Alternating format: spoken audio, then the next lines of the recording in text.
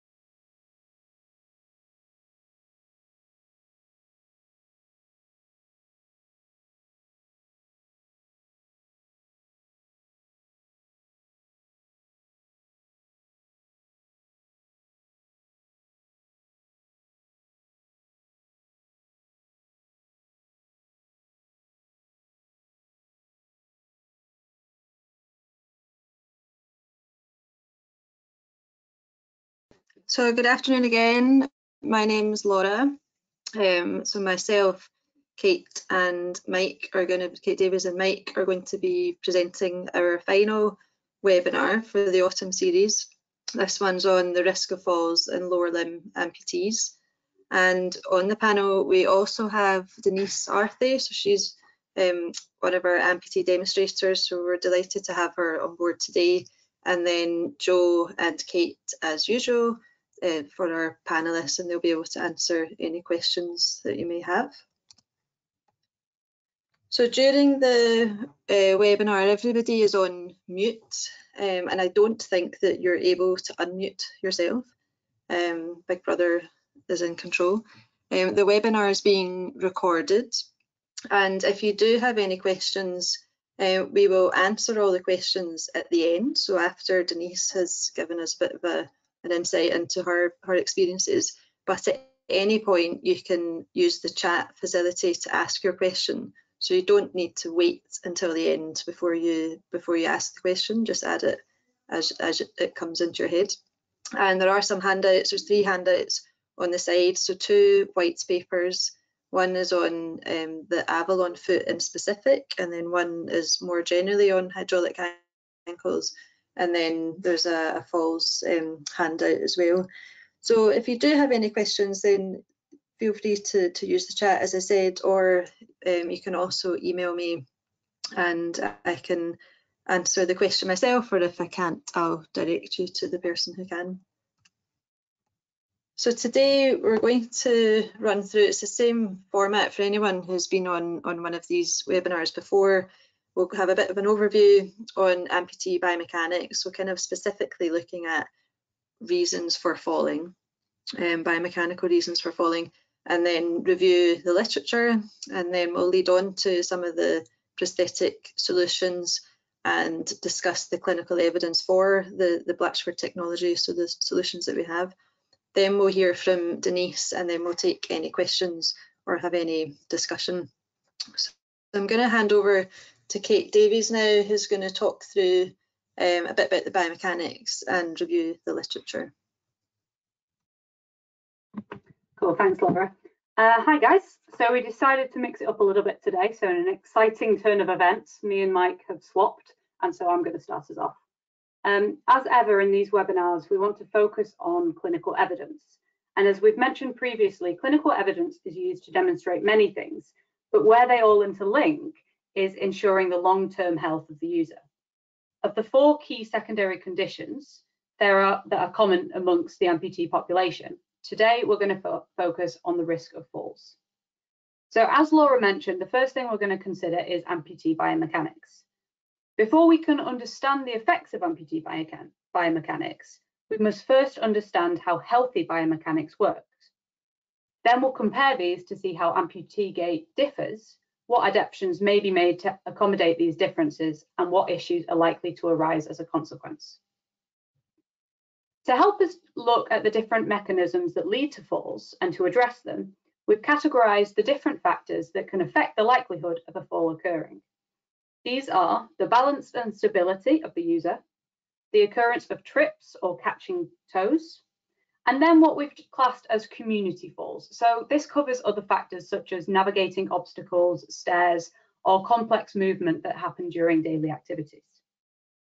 So here I've stolen some of Mike's wonderful animations to help illustrate. Um, so when we look at the balance and stability of an individual when standing on different surfaces, we can see the difference between a prosthesis user and an able-bodied person. For, healthy, for a healthy able-bodied individual with no major injury, no matter what the terrain or gradient is doing, the ground reaction force remains equal between the limbs. It might change position a little bit, so forwards or backwards, but generally the loading remains pretty balanced. For a prosthesis user, when standing on level ground, slightly more weight is taken through the sound limb but loading is still quite balanced. However, when we look at slope standing using a standard prosthetic foot with minimal adaptation, the forces can be quite different. So when standing downhill, in order to get the foot flat, the knee has to flex more. So with transtibial patients, this is the anatomical knee and it puts extra strain through the knee. And with transfemorals, it means that the ground reaction force moves posterior to the knee joint center and so the prosthetic knee is more prone to buckling. This means they can't put as much weight on the knee, and so they have a dependency on the sound limb. Alternatively, quite often the toe of the prosthetic foot is lifted, and so they rest on the heel, which can be unstable. Because of the instability, they then hyperextend the knee and flex the hip to stabilize, meaning that the back is then arched and we have um, we have issues. When standing uphill, the same thing occurs. So the knee has to lock back um, in hyperextension and they're constantly fighting the toe spring of the foot.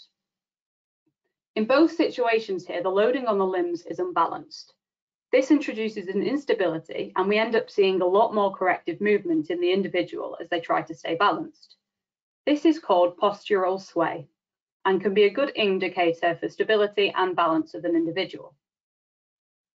So stability is also important for dynamic alignment.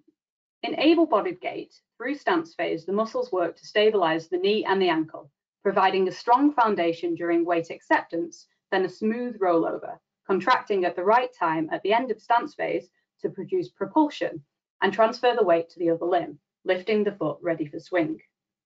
When we consider this for an amputee, at heel strike, we want the foot to plantarflex to foot, um, to foot flat for balance and the need to provide stability by staying in extension through the weight-bearing period to avoid buckling. We then need the ankle to dorsiflex for a smooth rollover and then plantarflex to produce some kind of propulsion. The knee flexing at the right time to lift the leg ready for swing.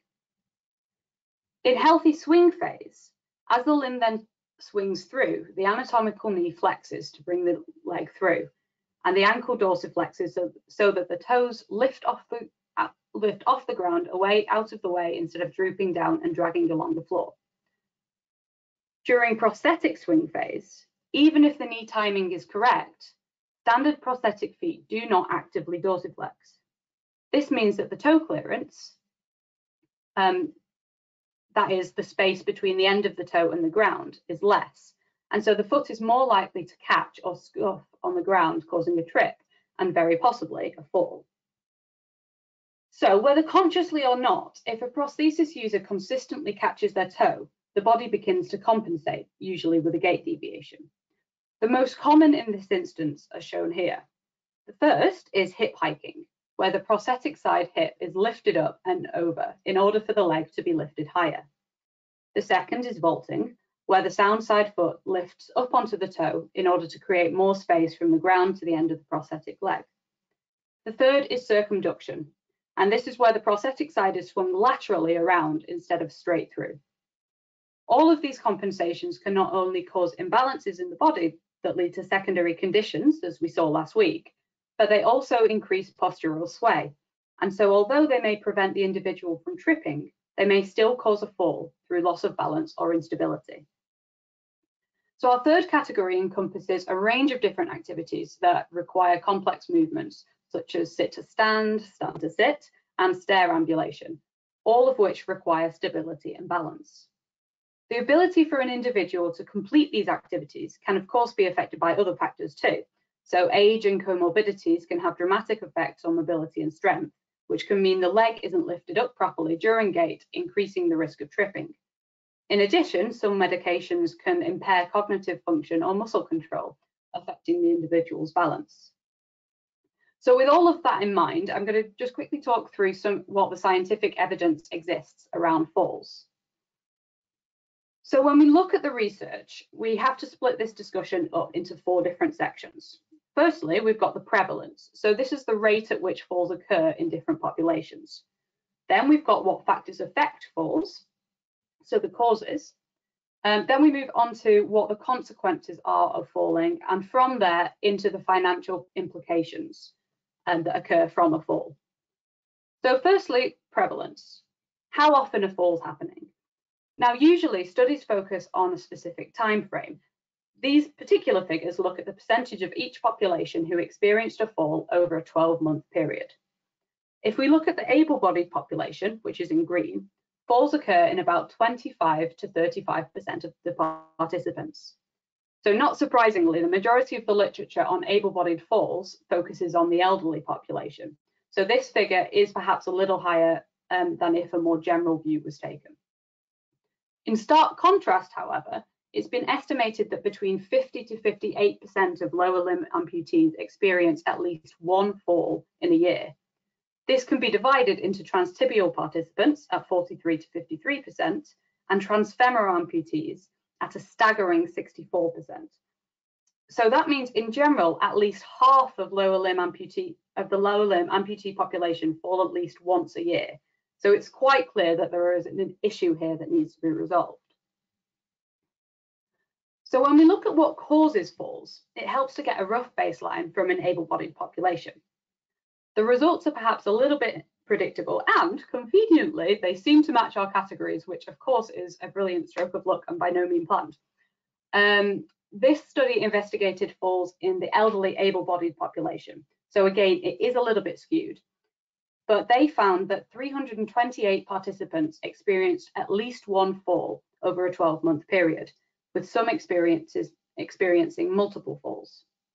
The majority of falls occurred because of either loss of balance or tripping, and falls that caused by a trip were more likely to cause injury. Other falls happened because of factors such as slipping, stairs, or obstacle navigation, and some weren't specified. The pie charts here show the breakdown of the causes of falls that resulted in either mild injuries like bruising or sprains, and more severe injuries such as broken bones. Oddly enough, the distribution for both of those was roughly the same, but again, in both cases, trips were the number one cause. What I find quite interesting about this study is that out of the 1,172 falls that were recorded, 783 of those, so about 70%, actually occurred inside the home, mostly in the bathroom, um, and not outside as you'd expect, where there are more things to navigate. So from this, we've got a few different um, causes that we want to focus on. So firstly, loss of balance. Now, when we look at the population of lower limb amputees, we of course have to consider a much larger age range with more diversity in strength and balance, but there are specific confounding factors that affect everyone. Firstly, because part of the leg is missing, the torso and upper body make up the majority of the weight, and so lower limb amputees have a higher centre of mass. This inherently makes them more unsteady. Secondly, because of the missing limb, the base of support rests on one foot and so is a lot narrower. This can of course be improved with a prosthetic limb and correct alignment, but generally the individual still relies heavily on the sound side. And thirdly, because of this uneven loading and the loss of proprioception that comes with amputation, individuals will usually display more postural sway, which is, as we know, is indicative of poor balance. So the previous study on able-bodied participants also showed that trips accounted for the majority of falls. This is, confound, is confounded by an amputation as well. Again, because of the loss of proprioception, but also um, because of the reduced ability to recover and get the limb back underneath the body to prevent a fall once a trip has occurred. Therefore, it's better to prevent the trip from happening in the first place. A study looked at the causes of falls in lower limb amputees. They recorded which participants fell and then compared different factors to those who didn't. The outstanding result um, when doing this comparison was the toe clearance provided by the prosthetic feet. Non-fallers clocked in at around an average of 25.6 millimeters, whereas the individuals that did fall only averaged half of that at 12.3. From this, we know that toe clearance provided by the prosthetic limb can have a huge effect on whether a fall will occur. Now, looking at the um, other causes, I've already said there are a lot of confounding factors that, which can lead to falls. And quite a lot of these also present in able-bodied individuals, particularly musculoskeletal problems that cause pain. But within the amputee population, they are generally more common. I won't read them all out, um, but they just serve to show how variable the causes can be with perhaps some factors that wouldn't be immediately obvious. So now we've looked at the what causes falls, we have to look on the other side to after the fall has happened. Firstly, we'll look at how the individual is impacted. In general, 50% of lower limb amputees fall, who fall sustain a soft tissue injury, so bruising or a sprain of varying severity, while only 7% sustain a bone injury that requires hospital treatment. Now, this might sound like a good figure, only 7%, great, and absolutely it is. However, it's very easy to disregard soft tissue injury as not serious, when in fact injury to a ligament, tendon or muscle can actually take longer and require much more rehabilitation to heal compared to a broken bone. In the previous slide, we saw that pain can be an influencing factor of falling, and so a non-serious injury, if not treated properly, can actually lead to a further fall. In addition to this, 49% of amputees report a fear of falling, and 60% report that their confidence was affected by a fall. So both of these factors will only serve to make the individual even less, even more less steady on their feet as they unconsciously change their gait to try and balance or to prevent pain. This lack of confidence can also lead to limitation of their activities, and very quickly their level of independence drops, and so does their participation. Now, as we all now know, extended isolation is not at all great for one's well-being, um, and these things can only affect um, can affect how well the patients get on with their prosthesis as well. The cumulative result of the lack of confidence, loss of independence, and potential pain all have drastic effects on their quality of life. Another consequence of falling is the subsequent cost. This can be divided into direct and indirect cost. Direct cost is the cost of medical treatment as a result of the fall whereas indirect cost is the cost to the individual. So that's not um, that doesn't mean it's directly linked to their medical care. So this could include public getting public transport that they have to take to and from appointments, or even the fact that because of their injury or reduction in confidence, they're unable to work and so then they lose money.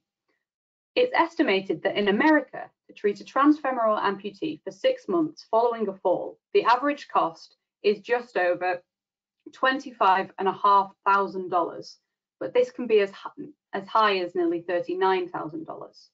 If we narrow this down to only individuals that were admitted to the emergency department, the average is around $18,000. The lower cost here is, like, is likely because this category also includes many falls that result in fatality. In these cases, as not much treatment is required, the figure is lower. However, some admittals to the emergency department reached $57,000. Looking at the general population, over, a, year, over a year in the US, the cost of falls that resulted in a fatality um, was $638 million. For non-fatal falls, the direct cost to medical services was $31 billion and indirect costs reached $18 billion. Out of all the injuries sustained from falls, again over the general population, fractures made up 35%, but they accounted for 61% of the medical costs. So now I've set the scene and thoroughly depressed us all with doom and gloom. Um, I'm going to hand over to Laura, who's hopefully going to cheer us up a little bit and talk through some of the prosthetic technologies that can help. Thanks. Thanks, Kate. I might just um, I'm just picturing my gin and tonic now when I get home to console myself of the likelihood of me falling in the future.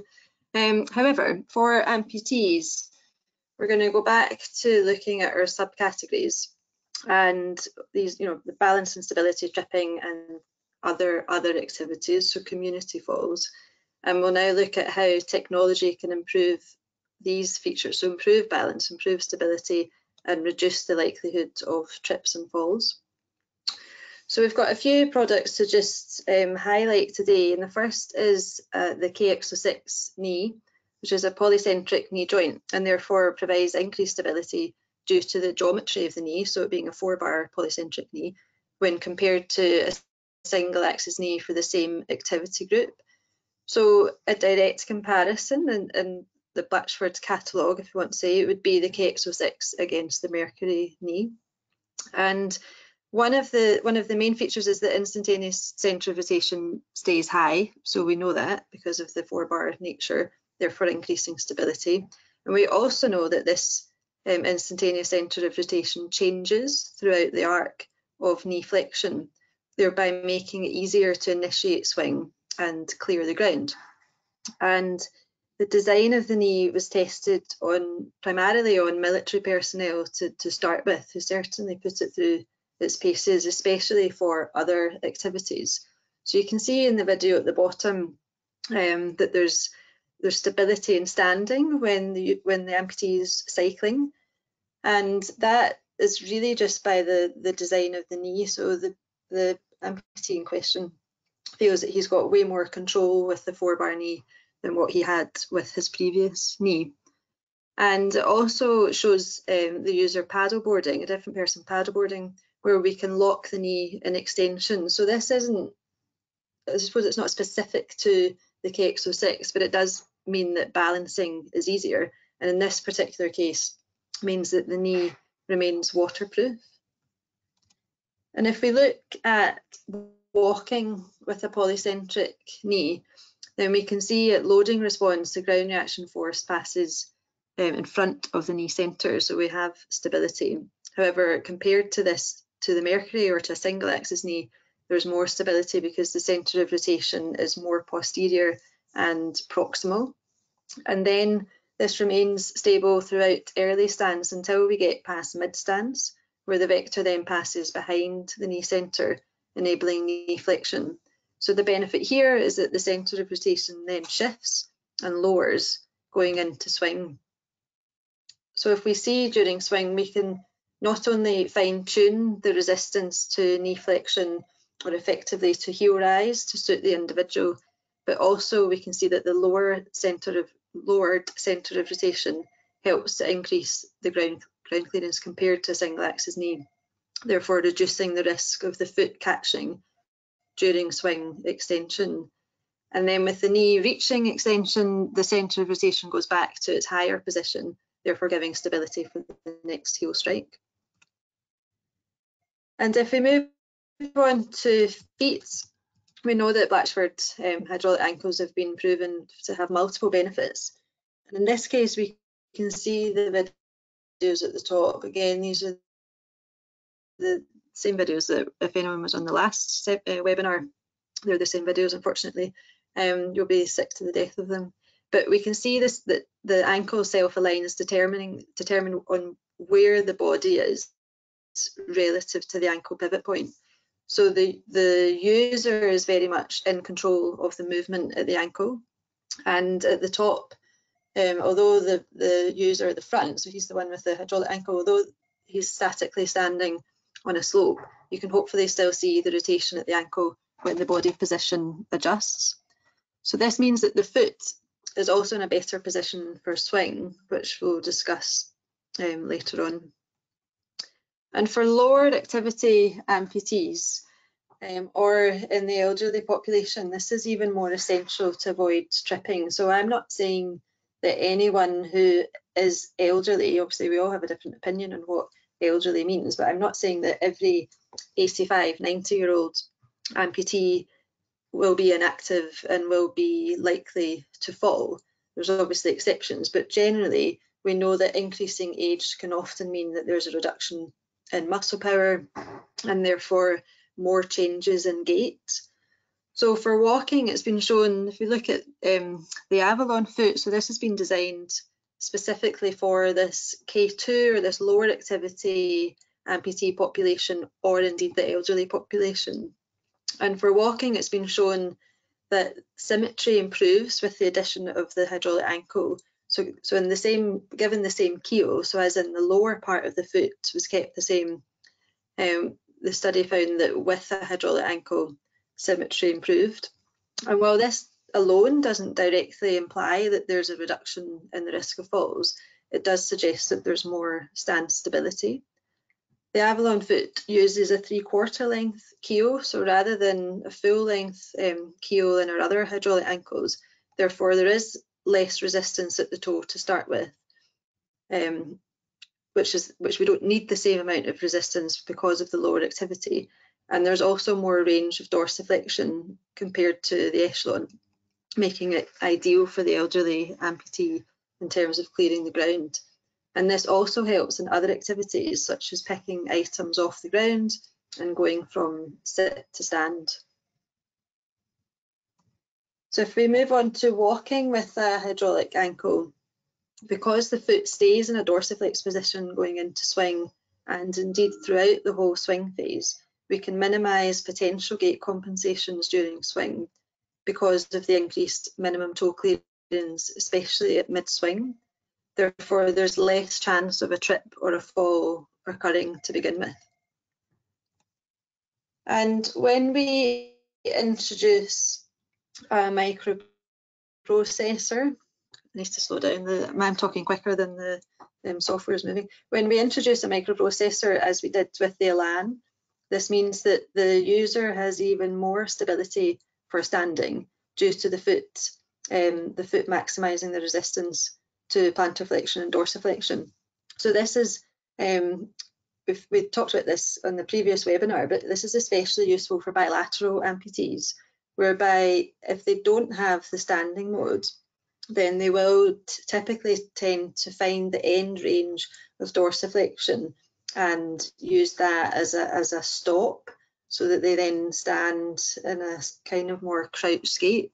Whereas with the standing mode, uh, were users were definitely able to stand more upright and felt that they had more control. And we have the same increased ground clearance with the Elan as we talked about with the Echelon. And if we move now on to looking at another knee joint, so specifically the Orion 3, we can provide stability over, over a variety of situations so for standing, there's an IMU in the knee which is able to determine whether the amputee is moving or whether they're stationary. And if they're stationary, the knee will provide an increased resistance to knee. So this is regardless of whether the, the knee joint, the prosthetic knee joint is extended or flexed. As soon as there's no movement, the resistance ramps up and then the amputee can stand with the full support on the equally, so between the, the prosthetic side and the intact side.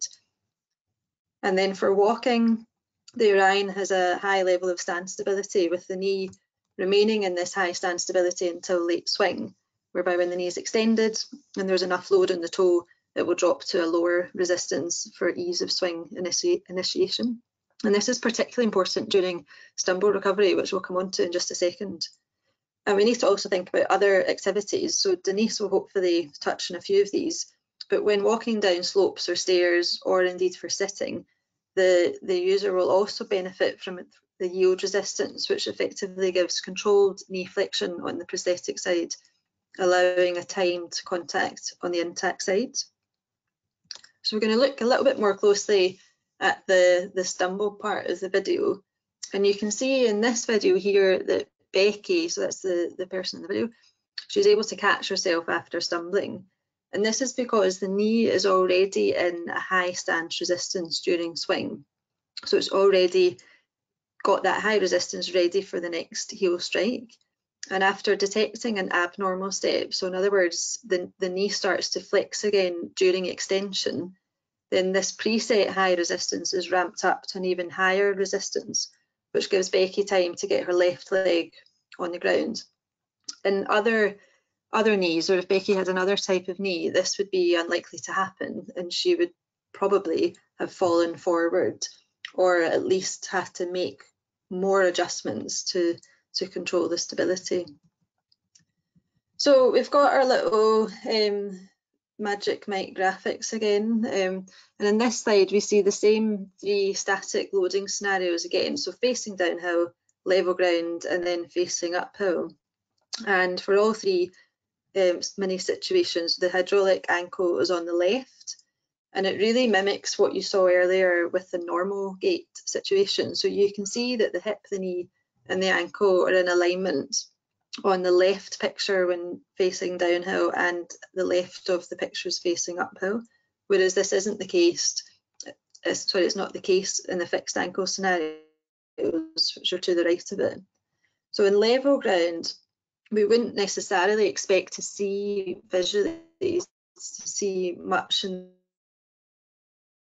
the way of biomechanical adaptation with and without a hydraulic ankle because the, the ground is level and we do our bench alignment to have this sort of natural standing geometric stability.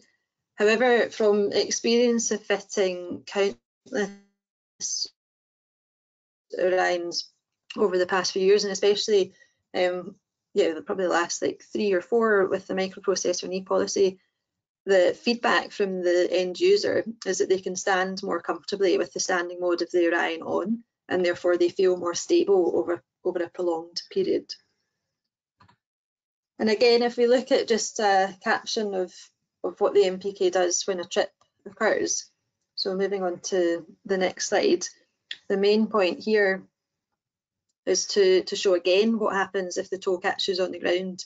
So we see at the point of sort of mid-swing, the on the third third picture from the left, then the toes caught the ground, and that's where we're likely to have the, the trip or a stumble. And then at this point, the knee flexion resistance detects that, that that's the abnormal part of the step and it ramps up the resistance to provide support and therefore reduce the chance of the fall, as you saw in the video with Becky. So if we move now, so we've looked at balance um, and stability, we've looked at walking um, and, and tripping, and now we're going to have a quick look at the other activities. And a key activity really here is going from sit from sitting to standing or vice versa. So we can see that the increase, if you look at it just sit to stand, the increased dorsiflexion range from the ankle. So whether that's the Echelon or, or the Avalon that has the increased range, this allows the, the body centre of mass to come over the base of support, meaning that there's less demand on the joints when going from sitting to standing. And if we go the other way from standing to sitting, we know that yielding knees provide, or yielding knees that do provide resistance to knee flexion um, are great for sitting down because they do give extra support. And this means that with the Orion 3, the, the user can load both legs equally and therefore be more balanced when sitting. And the Orion takes this step, takes this one step further by providing a proportional resistance depending on the knee flexion angle. So in the same way, if you imagine, um, and you could do it now if you particularly wanted, if you if you were doing a squat or you were standing with your knees slightly bent, then your muscles, and particularly your quadriceps muscles, would be controlling that. And if you then did a larger squat, so as Joe Wicks calls them a sumo squat, if you did a sumo squat, then your muscles have to fire much more to control that new position because there's a massive knee flexion moment happening, obviously. So in the same way that our knee extensor muscles are controlling the rate of knee flexion and work harder at larger flexion angles, the resistance from the Orion also ramps up as the angle of flexion increases. And this is particularly of a benefit when descending stairs because there obviously isn't a chair to break the fall. So in a standard using knee, what you sometimes see is this premature ground contact on the on the next step on the intact limb as the, the yield effectively or the knee effectively runs out of resistance.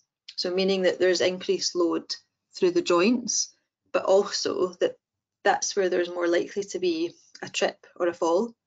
But the enhanced yield on the Orion again means that the knee flexion on the prosthetic side is controlled for longer, meaning that there's more stability from the prosthesis. So that's a quick whistle-stop tour of some of the um, technology that we have, which has been designed to mitigate the chances of trips and falling occurring. And I'm now going to hand you over to Mike, who's going to go through some of the clinical clinical evidence for these technologies. Thanks, Laura. Excuse me. Um, so as Laura says, uh, I'm going to discuss some of the evidence that's uh, available for these different technologies that uh, she's just discussed. Um, I'm also going to follow the same pattern as the other two, um, in that we'll start off by talking about stability uh, and balance. Um, so this this relates to things that both Kate and Laura have talked about today. Um, the first is postural sway, which is what is being measured in this particular study. Um, but there's a lot going on, so I'll I'll talk you through um, from left to right. So this is this is a study looking at transfemoral amputees standing facing down a slope. So as Laura mentioned, this was uh, a, a, particular situation that affects um, effectively changes the alignment um, of the limb uh, during standing and can, can create balance issues.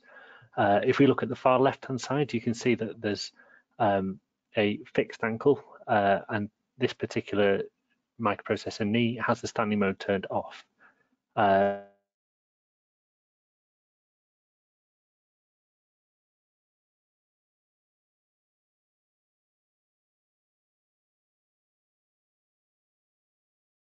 the next one in from the left, the second one along, that's got a fixed ankle but with the standing mode turned on.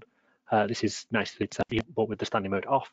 And then the fourth one is using a hydraulic ankle with the microprocessor knee standing mode switched on. Um, and you can see if you look at the, the numbers underneath, that is a, uh, a the mean postural sway measurement that was taken uh, in this study. So you can see from left to right, they gradually get smaller and a smaller value indicates less sway, which indicates a better balance. Um, on the far right hand side as well, I've uh, included the, the value for able-bodied um, participants, control participants, and you can see that the, the closest uh, prosthetic setup to get, uh, well, the closest to the able-bodied number um, was the combination of MPK standing mode with a hydraulic ankle because it allows the limb to be aligned uh, with a good posture and then provides that extra support uh, from the standing mode. I should uh, say as well, in this particular study, there was not a significant difference between the uh, that particular prosthetic setup and the able-bodied uh, control values.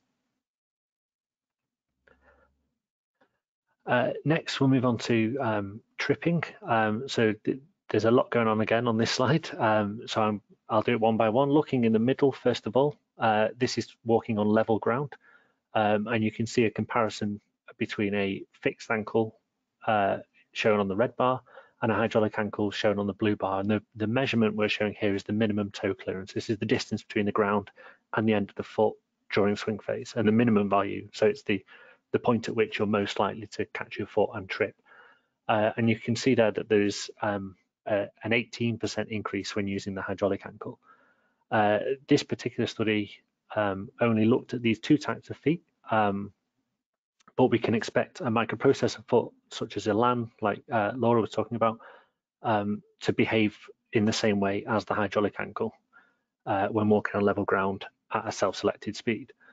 Um, there are different conditions, obviously, uh, when you're walking downhill. If we look on the left-hand side, you can see that the again the fixed ankle is the worst performer on the red bar, um, and the hydraulic in blue and the microprocessor foot in green are approximately equivalent when walking downhill in terms of clearance, but both the hydraulic feet have uh, a greater performance than the fixed foot, increasing that toe clearance and reducing the likelihood of a fall, uh, trip and then a fall.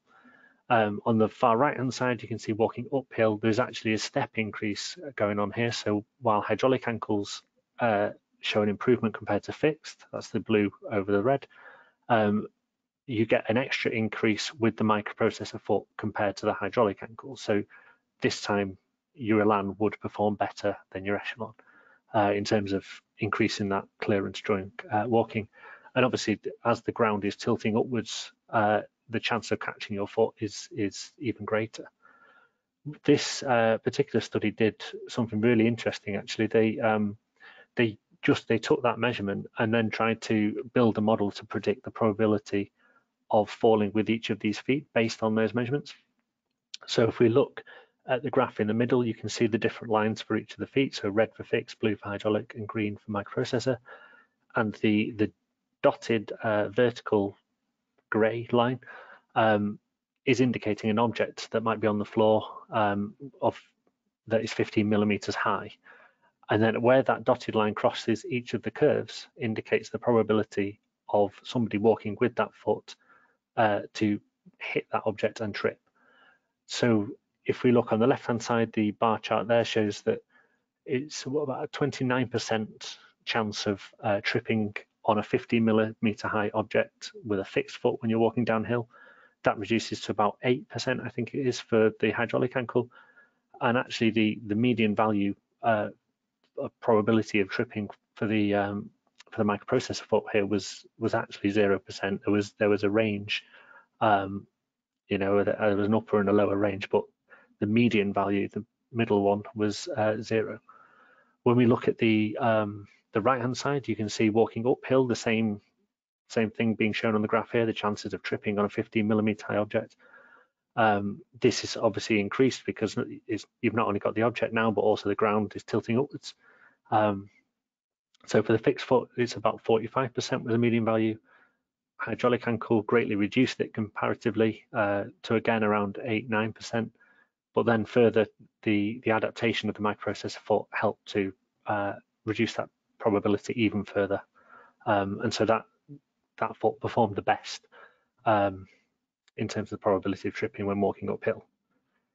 Uh, to take a slightly different tack now, um, on the next slide, if it comes up, there we go.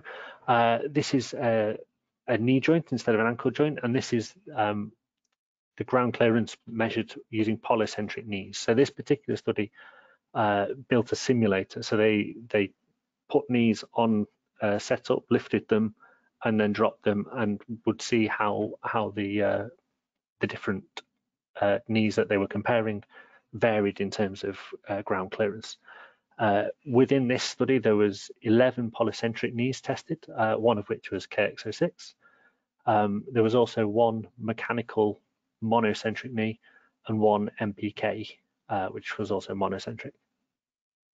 Uh, as you can see on the graph there, um, they're of increasing swing clearance from left to right, and the KX06 performed really quite well um, compared to all the different knees. I think if you can see that most of the monocentric uh, knees are further um, further to the left, as in have less good clearance. Uh, so in general, the polycentric knees performed better, and in fact, KX06 was one of the best. Uh, taking that slightly further and uh, less abstract, so rather than just biomechanical measurements, uh, we actually look at um, falls that are recorded out in the community. Um, this is a very recent study. I think it was only last week it was published. Um, where Hanger clinics in the United States um, retrospectively looked at many of their uh, their patients that they gathered uh, outcome measures for, and in particular for different brands of uh, microprocessor knee uh, to see if there were a different uh, difference between the, the, the models. Uh, and the most um, the most significant outcome measure that they looked at was the prevalence of falls. and comparatively, there was data they had for non-microprocessor knee users, so that's the the knee in the image at the top there. Um, I think they were about 16% falls rate um, in terms of the prevalence over a six month period. Um, and Orion 3 was one of two um, of the microprocessor knee brands that showed a significant improvement compared to non-microprocessor knees. So that was that was a good result for Orion 3. Oops. Um, one of the uh, things that is unclear about that particular study is in fact what foot was being used with each of uh, with each of the knees because obviously the the standing balance uh, study I discussed earlier um, changed well changed the knee settings but also changed the feet uh, and showed that hydraulic ankles made a difference when combined uh, with with a microprocessor knee. Um, so this particular study here I'm showing is is one that was uh, presented at the uh, ISPO World Congress last year um, uh, by the team at Sheffield. Um, and this was a survey of 151 transfemoral patient, patients, of which 29 were using the combination of Orion 3 and Echelon, so a, a hydraulic ankle. Um, there was a reduction uh, in the tripping rate, although this was uh, not significant. Um, maybe if there was uh, more Orion three Echelon users that might have um, eventually become significant. Um, but what was significant was the fact that there was a, a reduction in the likelihood of falling. Um, so those middle graphs you can see there, um, the falling rate among Orion 3 plus Echelon uh, users um, was only around 10%, uh, and that's compared to 35% of mechanical knee users. Uh, finally, the bottom graphs uh, pie charts rather, um, show something quite interesting. These are just those people that reported a trip.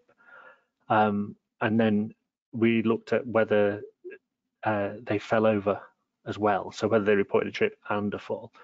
Uh, so of those people who looked at a trip, Orion three plus Echelon users um, were significantly less likely to fall. So they, they had a falling rate of only 15% compared to 51% of mechanical knees users. So that was quite a substantial difference.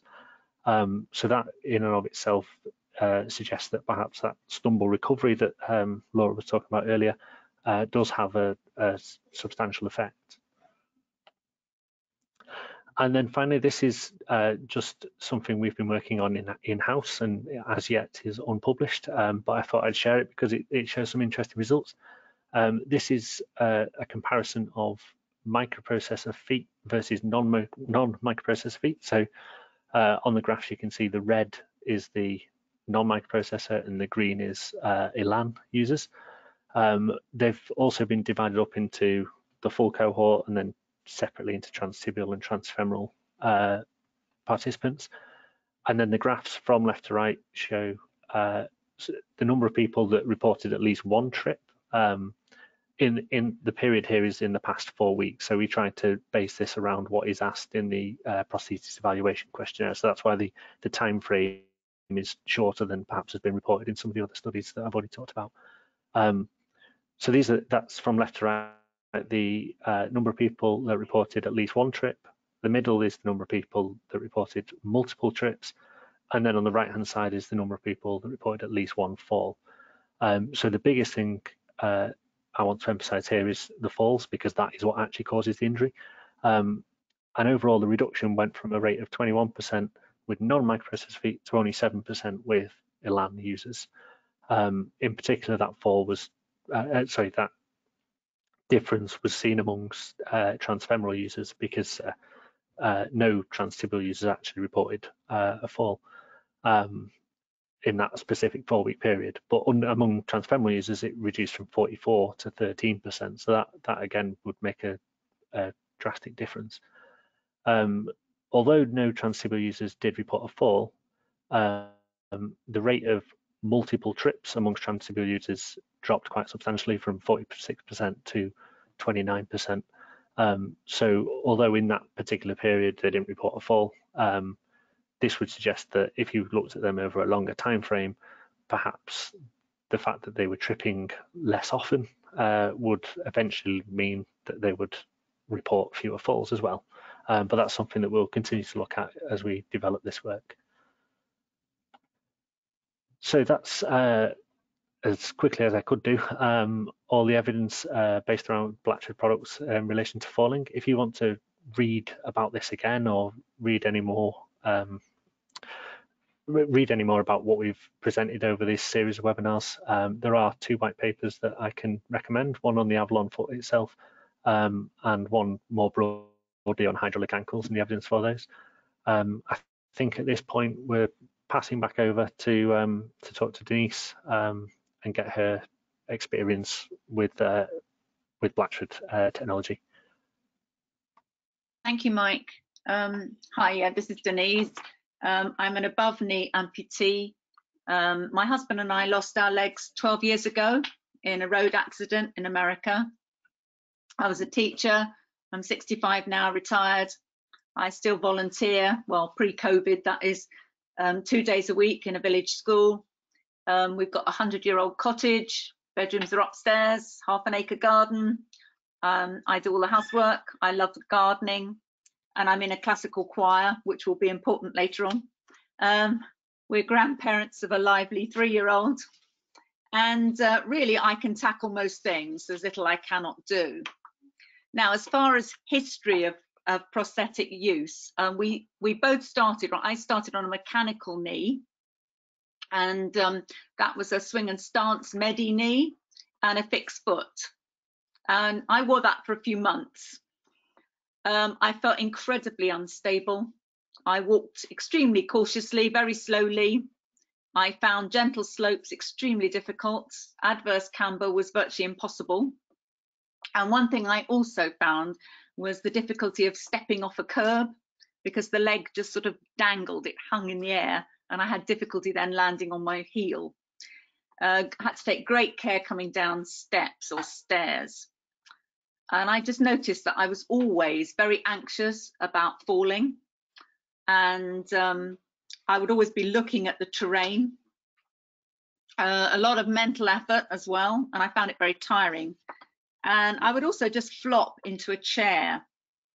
Now I did fall quite a lot with that um, leg and the trouble is, as I think's been demonstrated, is that once you trip, really you're going to be on the floor and uh, it was very quick. The leg just collapses. In uh, 2009, I went on an early version of, of, the Orion, and I wore that for six years, uh, three in the in the States and three in the Middle East. Now, this leg obviously I had a lot more confidence in the knee. Um, I had very few falls, um, but in 2016, um, when we came back to England, we tested the prototype of the Orion 3 and were given a hydraulic ankle, the Echelon BT. And I've had that now for four years. Um, if I try and do it in the same order as the other speakers, as far as balance goes, um, the standing mode on the Orion was um, amazing, but took some getting used to. I mean, now I wouldn't be without it. I mentioned choir. Uh, in choir in concerts, as you can imagine, we stand for long periods of time on a very narrow tiered stage. And um, in school as well, I stand for a lot of time just over the desks with the little ones. And it's quite true, I can be equally balanced, which means I just relax. It's very good for my back. But the thing I don't do is I don't keep making all these minor adjustments and favouring my good leg, which could lead to instability. Um, I really do trust the Orion 3. I can step over things. I mentioned before the sort of dangling effect of the mechanical leg, but um, with the Orion 3, I can actually step over things in the garden. That's really important to be able to step over plants and tree roots in the classroom, it's a very confined space between the um, tables that the children work at. and you're stepping over cardigans, even marbles. Um, and I just find the knee consistent, which I think is really important for stability and for fear of falling. If, if, a, if a leg is consistent, you know how it's going to behave and it's very stable.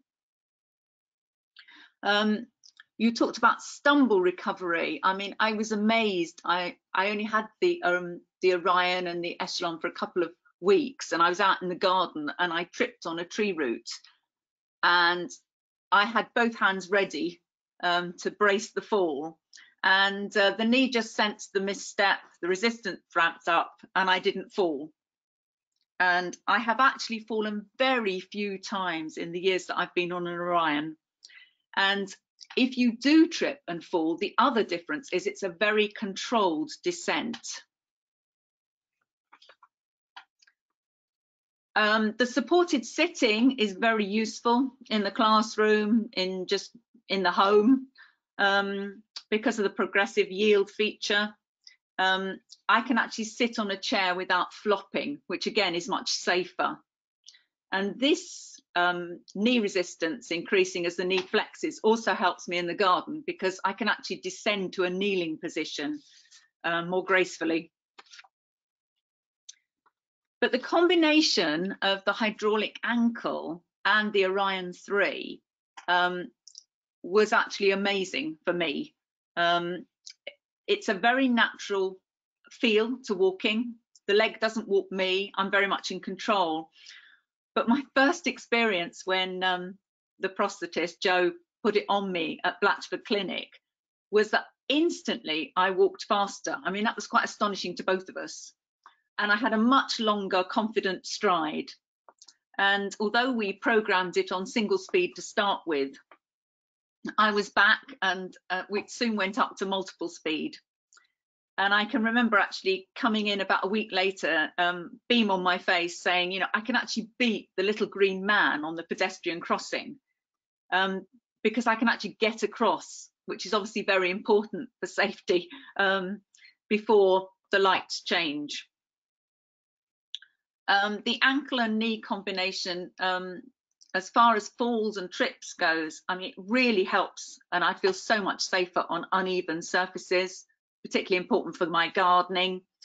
Slight slopes, I don't notice now.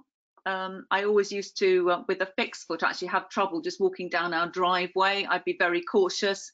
Um, but with the Orion and the Echelon, um, I can just walk down our drive. I can carry shopping back up our drive, and I just honestly don't notice the slope. There is also some slight help with camber as well. Um, so I'm really not so conscious of the terrain. I'm much more agile. And obviously this gives me more energy to walk further and to do the things I want to do and um, obviously supporting a school class i've been on field trips or fruit picking on a farm with all the hazards thereof and uh, we've also been on touring holidays abroad and uh, for instance i did like a two and a half hour sightseeing walk in Bergen which if you've ever been to Bergen has the most uneven cobbles ever and very sloped streets um, when we went to Jordan I actually, in a day, walked 12 kilometers, about seven miles. And that was on sand, rock, um, pebbles, and rough terrain, and it was possible. So I've actually, with the um, hydraulic ankle and the Orion, I've actually moved from a K2 to a K3 user. And uh, I can live an active life again. So I'm very grateful to, for these prosthetics. Thank you. Thanks, Denise. That's great. I think it, um, for me anyway, it always makes more of an impact when somebody who's using uh, the components talks about their experiences. Um, probably could have just done with Denise at the beginning, going through it, and then I could have kept out of it. But I just want to open the floor to any questions. Um, Kate's been manning the question front, so have there been any questions at all? Um, we just had a couple of questions about the KX06. It might be worth flicking back up a couple of slides back to those KX06 slides if at all possible. Um, someone's asked, can you define high instantaneous centre of ro rotation a little more clearly? So we'll just wait till we get back to those slides. It might take a little while. Uh, but basically, the instantaneous centre of rotation on a multi-bar linkage knee is determined when you bisect the linkages. So on a 4-bar knee, a KX06, you bisect.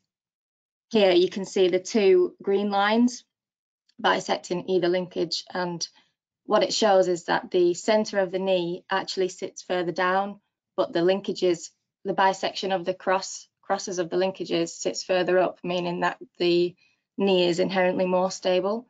So the higher up that that section is, the green dot, the more safe the knee is geometrically. Hopefully that's answered the question. I don't know if anybody else wanted to add something there. Uh, if not, we've had one more question about for, again, with a KX06 user who goes boarding, um, sometimes you may need to kneel. What flexion angle can one achieve with the KX06? Uh, Joe, do you want to answer that one? I don't know what is. I haven't got that. I, I honestly don't know what is. Kate? Me neither. That's why I asked you. Laura? Oh, I, haven't, got a catalogue handy. Give me a minute. It's 160, isn't it? Oh no.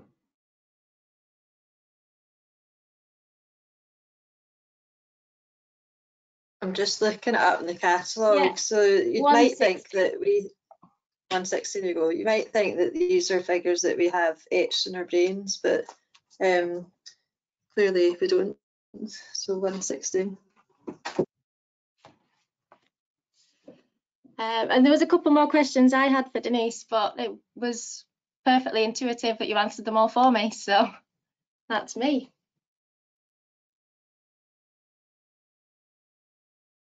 All right, so if there's no more um, questions, I just want to say thanks to everyone who's helped with the presentations over the, the past um, few weeks. And for anyone who particularly wants to listen to them again, I think potentially with myself and with Mike, there might have been some internet issues. So apologies if that was the case and if, if the sound quality went. But these will be available um, to listen to again uh, if, if you so wish, as are all the other ones. If you go onto the Blatchford website, so blatchford.co.uk, and then go to the far right, there's a panel for professionals, and then you can just um, click on that and it should take you to a link where you can have a look at the um, what we're trying to say, have a look at the, there you go, connect with um, which will take you specifically to the webinars so you can listen to any one of them. Uh, we are hoping to do some more in the new year um, and then we can, if anyone has anything in particular that you, you might want to hear about that we haven't covered, please do email me, happily take any suggestions. And yeah, thanks for listening. Hope that you have a good rest of the week. And obviously it's the motto of 2020, stay safe, um, try to stay healthy, and we'll see you all very soon. All right, bye. Was 160. I went and got a catalogue. We just had one last question, getting just in time. What is the gait pattern for climbing stairs with MPK prostheses?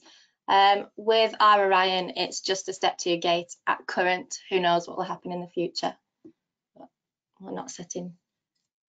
I think what we have seen, and I don't know if Denise could comment, um, but I've certainly noticed people's gait going upstairs tends to improve with the hydraulic ankle. So it still doesn't allow for anything coming from the knee, but because because the the centre of mass, the body centre of mass, can be further over over the foot due to the dorsiflexion, then people have reported to me that it's it's easier to go up. So with no change from the knee, just the difference that the foot makes. I don't know if Denise, do you have any? And to be honest, going upstairs, no, I haven't noticed much difference. I mean, it's just safe. I mean, you know, with or without the hydraulic.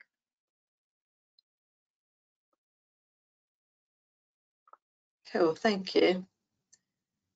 Uh, I'm not going to go through my end end again, but if there aren't any, if there are any more questions, we'll give another second or two for that to come through. Um, otherwise, yeah, we'll we'll end the webinar